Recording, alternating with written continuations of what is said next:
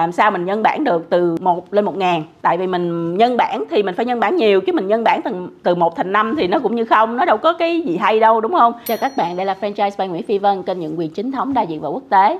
Rất nhiều bạn á hỏi là chị ơi bây giờ em muốn nhượng quyền cái này thì à, em làm sao? Em muốn ờ, em có ý tưởng nhượng quyền như thế này em làm sao? Em ờ, muốn ờ, à, em ra làm một cái công ty sản xuất mà em thấy chị nói về nhượng quyền hay quá vậy em muốn làm nhượng quyền thì em làm sao?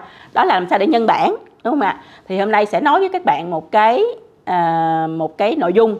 Nó xoay quanh vấn đề làm sao mình nhân bản được từ 1 lên 1 ngàn. Tại vì mình nhân bản thì mình phải nhân bản nhiều chứ mình nhân bản từ, từ 1 thành 5 thì nó cũng như không nó đâu có cái gì hay đâu đúng không? Nếu đã nhân bản thì nhân bản từ 1 lên 1 ngàn mình nhân bản sao đây? Đầu tiên hết mình muốn nhân bản thì mình phải có một mô hình đúng không mọi người?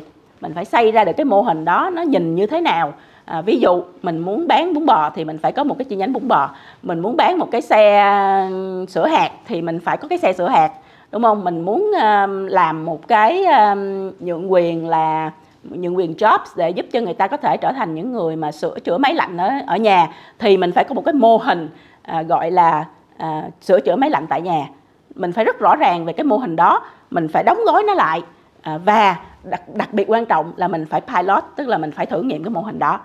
Nếu bạn chỉ có một ý tưởng không thì rất khó để có thể mọi người hiểu được bạn muốn nói cái gì. Cho nên đầu tiên hết là mình phải tạo được cái mô hình đó. Bạn nghĩ mô hình đó như thế nào ở trong đầu thì bạn phải xây dựng nó ra bạn triển khai nó ra thành một cái mô hình thiệt à, thành một cái chi nhánh thiệt thành một cái business thiệt bạn thử nghiệm nó bạn tự mình làm kinh doanh nó thì bạn mới hiểu được là nó sẽ nhìn ra làm sao giữa lý thuyết với thực hành cách nhau cực kỳ xa nha mọi người. Giữa những cái mình nghĩ và cái mô hình uh, thực sự kinh doanh là hai cái không có liên quan gì nhau hết. Cho nên thường là các bạn đặt câu hỏi nhiều quá thì phi vân sẽ nói là em cứ làm đi em phải làm thử một cái chi nhánh, em phải làm thử một cái công việc, em phải làm thử một cái hệ thống thì em mới biết được nó như thế nào. Lúc đó thì mình mới bắt đầu nói đến câu chuyện nhân bản nó. Còn bây giờ mình còn chưa có chi nhánh nào hết, mình còn chưa có mô hình nào hết thì mình nhân bản cái gì đây? Thành ra đầu tiên hết, bạn hãy thành lập cái mô hình của mình, triển khai mô hình của mình, thử nghiệm mô hình của mình để tự mình hiểu được mình cần phải làm cái gì. Mà tự mình hiểu được cái khó khăn thử thách trong cái mô hình đó là cái gì? Tự mình hiểu được là khi mà mình vận hành cái mô hình đó thì nó khó khăn, nó gặp những cái chuyện trở ngại như thế nào, nó gặp những cái vấn đề như thế nào, những cái pain point, những cái nỗi đau như thế nào. Rồi, sau khi các bạn có cái mô hình đó xong thì mình mới nói đến câu chuyện thứ hai, mô hình đó có hiệu quả không? Mình không thể nhân bản nếu như một mô hình đó không hiệu quả, đúng không ạ? Không hiệu quả thì nhân, nhân bản để làm cái gì? Nhân bản là cách để chúng ta tạo ra một cái business nó nhân lên rất nhiều lần dựa trên một cái unit một cái đơn vị rất là hiệu quả. Cho nên cái đơn vị đó nó phải hiệu quả trước. À, nếu như ngay tại thời điểm này mà cái chi nhánh của bạn mà cái cửa hàng của bạn à, mà cái business của bạn nó không make money nó không tạo ra được lợi nhuận. Đúng không ạ? Mà bạn nói là không sao đâu chị ơi khoảng 6 tháng nữa nó sẽ tạo ra lợi nhuận. Ok, vậy thì em đợi 6 tháng nữa đi. Khi nào em có lợi nhuận rồi thì lúc đó em nhân bản. Còn bây giờ em chưa có lợi nhuận thì em đừng nhân bản. Bởi vì em đang nhân bản cái gì? Em đang nhân bản một sự thất bại.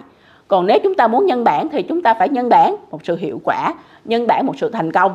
Cho nên cái chi nhánh đó, cái đơn vị đó nó phải thành công trước. Thành công có nghĩa là nó tạo ra được lợi nhuận và thành công có nghĩa là lợi nhuận đó nó phải hơn rất nhiều so với những cái kênh đầu tư truyền thống. Ví dụ tiền phi vân có thể gửi vào tiết kiệm ngân hàng. À, bây giờ mình đang được bao nhiêu ta? 4 phần trăm 4 chấm mấy phần trăm một năm. Thì cái việc phi vân đầu tư vô một cái nhượng quyền nó phải tạo ra được lợi nhuận hơn cái mức tiết kiệm đó của ngân hàng thì nó mới đáng để người ta đi đầu tư đúng không? Chứ nếu không người ta đầu tư để làm gì? Thành ra các bạn cũng phải canh vô cái biên lợi nhuận của những cái sản phẩm đầu tư thông thường trên thị trường để các bạn à, xác định được như thế nào gọi là hiệu quả và như thế nào gọi là thành công. Khi các bạn tạo ra hiệu quả đó rồi khi các bạn có sự thành công đó rồi thì lúc đó chúng ta nhân bản sự thành công này và chúng ta đóng gói xem là cái sự thành công này nó có nghĩa là gì nó có những yếu tố nào tạo ra sự thành công đó. Chúng ta đóng gói cái sự thành công đó lại và chúng ta nhân bản nó.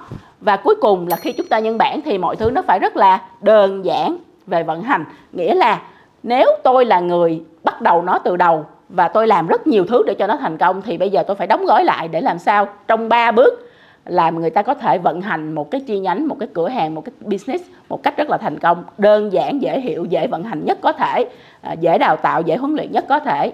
Thì đó là ba cái yếu tố mà các bạn cần phải có ngay lập tức nếu các bạn muốn nhân bản từ 1 đến 1 ngàn và nhân bản sự thành công mà các bạn sẵn có.